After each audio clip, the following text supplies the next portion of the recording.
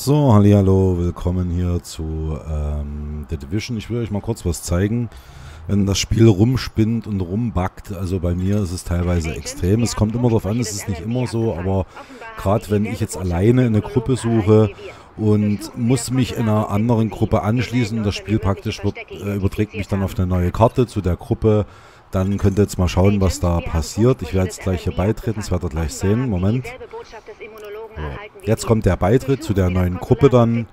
Und schaut automatisch, ich kann nichts dagegen machen. Das ist immer so. Ich habe das äh, die Fehlerberichte schon zu äh, Ubisoft geschickt. Aber ich weiß nicht, ob es die nicht interessiert oder irgendwas. Aber ich falle dann grundsätzlich durch die Karte, das werdet ihr gleich sehen. Kann dagegen gar nichts machen. Das Einzige, was mir übrig bleibt, ist aus der Gruppe auszutreten und dann das ganze Spiel neu zu starten. Das ist nicht der erste Bug, den ich da gefunden habe, der bei mir ständig auftritt. Ich habe dann noch einen, den kann ich euch gerne später noch anhängen.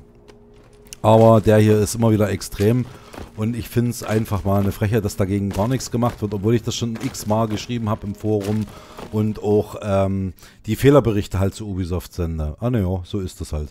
Gut, das wollte ich euch mal gezeigt haben. Dann sage ich mal bis später in der Runde, so wie es jetzt ist. Ähm, ja, euer Highspeed. Bis dann. Ciao, ciao. Bye, bye.